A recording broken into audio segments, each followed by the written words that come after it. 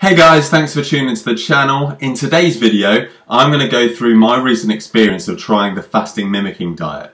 Now the fasting mimicking diet is a five day diet where you have super low calories for each of those five days um, and it basically induces the effects of a long-term fast. So the effect of a two or three day water fast where you're not eating any calories except you're getting a small amount of calories each day so your body's still getting the nutrients that it needs and it supposedly makes it easier over those five days, uh, but you still get the massive health benefits associated with long-term fasting. Now, it was really difficult, these five days of really low calories and hardly eating anything, um, but I really think it was 100% worth it for the massive health benefits that I'm going to go through in the rest of this video. So, as always, if you like the video, make sure you like and subscribe to the channel for more videos like this, but let's get into it.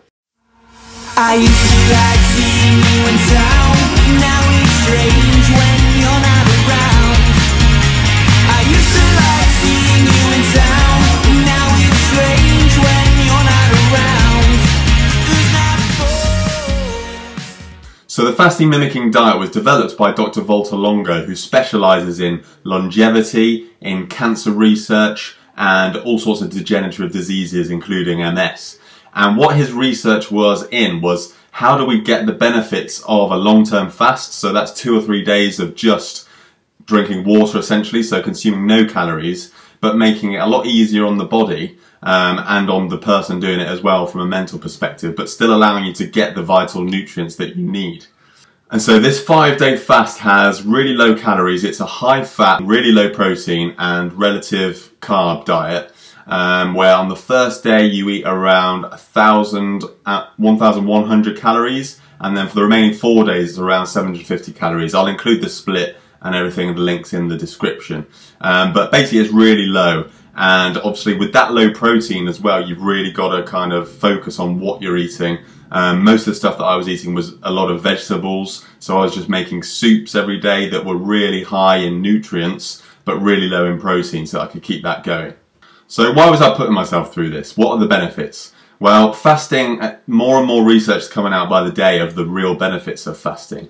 But it seems like the time where back in, if you think back to when we were sort of cavemen or whatever, and when we were evolving as a species, we wouldn't be able to eat breakfast, lunch, dinner, snacks in between.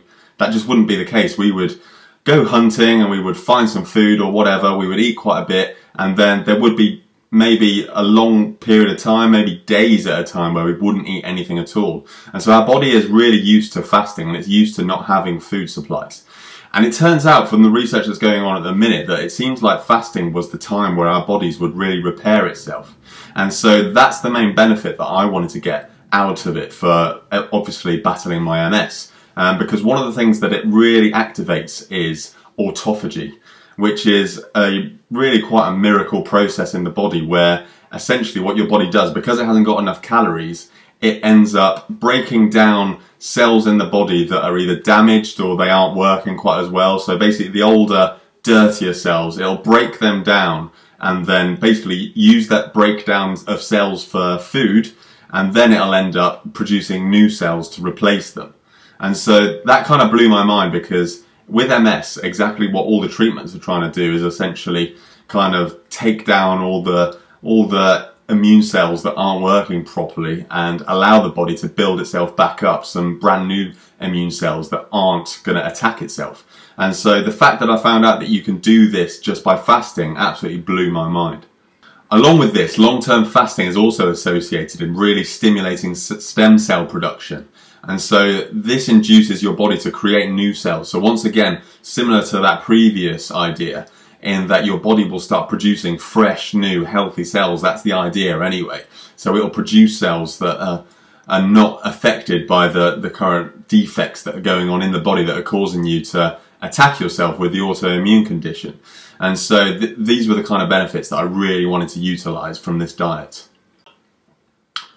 Along with that, the prolonged fast is known to downregulate IGF-1 production in the body, which is a pathway that essentially contributes to a lot of cancerous uh, issues. Uh, so by utilizing those two factors, what happens is your body is breaking down the damaged immune cells that are autoimmune. So those are the ones that are attacking the myelin sheath um, accidentally. And then what it's doing after that is using the stem cells to produce new immune cells that have no autoimmune deficiencies, so they're not affected by it. So they're brand new cells that can go about their job and do things just fine and they won't go attacking themselves.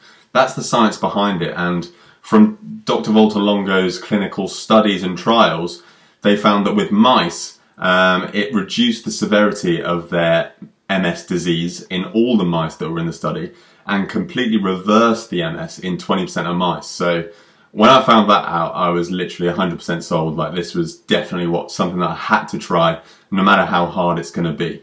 I'll leave a link to that video with Dr. Valter Longo in the description just so you can check it out it's really, really interesting. So anyway, I'll flip back now to some footage of when I was actually doing the diet, um, which was a few weeks ago now, so I'm well over it. I'm over the trauma. No, it wasn't that bad actually. Um, but you can, you can see in the videos just how manageable it can be, but it definitely is difficult. So it's something that you've really got to think about. And obviously with things like this, I am not a specialist, so just seek your own advice from your own doctor before trying anything like this because it is quite a strenuous uh, fast to put on the body. So let's get into the video. I'll see you on the other side. First bit of food for the day then. So having some of these giant Halkidiki olives. Thinking of about five of these, which should be about 30 grams, weighing everything out precisely, obviously.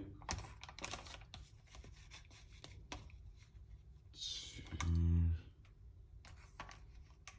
three, four, five. So that has turned out to, oh yeah, exactly 30 grams. So nice way to start off the food for the day. Now it's time for a coffee, which I'll be having with some, well, 30 millilitres of this Rude Health coconut milk, which I think is lovely. And um, it's an espresso coffee machine as well. So this can real perk me up because caffeine really helps to suppress your appetite when you're fasting and it also helps you to get a bit deeper into the fast. So let's get that caffeine going, baby.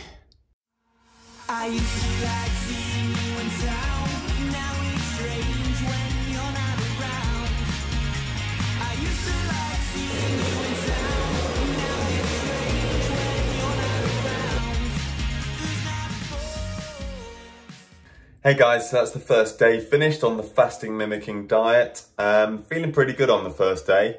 I mean, I do do fasting on and off. and I do intermittent fasting most days anyway. Um, but today was, yeah, you know, 1,090 calories, pretty low. Um, but I'm feeling all right, to be honest. I had a, a really nice sweet potato soup with loads of vegetables in it. Um, I've been nibbling on a bit of celery and had some walnuts as well, just to up the fat content because it's quite a high fat diet that you've got to do with the macro split. So it's quite high fat, low protein and moderate, moderate carbs. Um, and then I had a little bit of macro as well on the side. Um, but overall feeling pretty good today, not feeling too hungry. Obviously it's going to get a bit tougher from here. The calories are dropping tomorrow to 750 I think for the remaining four days. So we'll see if it gets any harder, which I'm sure it will. Uh, but feeling pretty good on day one, not too hungry and yeah, ready for day two. Let's see how it goes. Another day, another vegetable soup. This one is very high carbs, low protein, pretty low in fat. Well, actually, there's quite a bit of flat fat from the olive oil. Can't even talk, I'm that down on food, but yeah, hopefully this is gonna be just as tasty as yesterday's sweet potato soup. Day three, another vegetable soup on the go today. Full of loads of really healthy, nutritious vegetables. We've got kale, celery, leeks, mushrooms, onions, bit of broccoli, um, sweet potato in there as well. So yeah, loads of healthy ingredients to kind of fill out my stomach without overdoing the calories, keeping obviously the carbs low, protein very low and fats quite high. So I've got some olive oil in here to keep the fats up a little bit. But yeah, absolutely starving right now, just towards the end of day three. I've not eaten a lot so far today. So looking forward to this one. Hopefully it'll fill me up nicely. Yeah, so just coming towards the end of day three now. Well, um, just about to get to dinner time. I'm gonna have some soup. So today's where the hunger has really started to set in a bit. Not eating much today, so I had five olives for lunch with a stick of celery. Wow. And then I've just been drinking black coffee and green tea alongside that. So feeling pretty hungry. Not, not, nothing too crazy. I can still kind of walk about and stuff. I'm not on the verge of fainting or anything. But um, yeah, really looking forward to this soup now. And hopefully, you know, three days out of five almost done now. So over the over the hardest part and looking forward to getting some really good health benefits along the way. Day four, and I literally just cannot wait now to not have to weigh all my food out precisely. 100 grams there, beautiful. These scales, by the way, are brilliant, just for weighing stuff out. Salter scales. I'll put a link in the bio for um, anyone who wants it. Yeah, another day on loads of vegetables. Got the soup steaming away in there. Quite looking forward to finishing this fasting now, but not feeling too bad, but yeah, could be better. Time to get blending.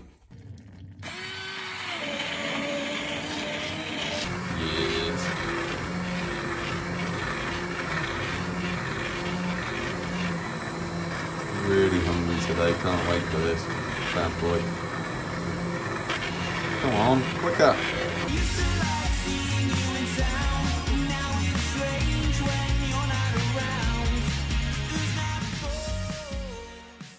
There we have it, seasoned off with a little drizzle of olive oil to get some more fats in. Same meal I've had three nights in a row now, so it's not that exciting, but it kind of is because I'm starving. Hey guys, so it's day five now, just coming to the end. I'm about to have my final meal and I'm so, so ready for some proper food tomorrow. Get some meat inside of me, but having said that, it hasn't been too hard. I mean, it, it, it has been tough and I like, I'm starting to get some headaches now because my brain's just depleted of glucose, but for all the benefits that it's worth, I think it's completely worth it. It hasn't been as hard as you'd expect. I think maybe the fact that I've done it before um, probably helps and also that I do intermittent fasting on a daily basis so my body is quite used to fasting. So oh but yeah I am excited just to get it done now and hopefully I'll have earned all the all the major health benefits that I can gain from it. Um sorry someone just walked past my window.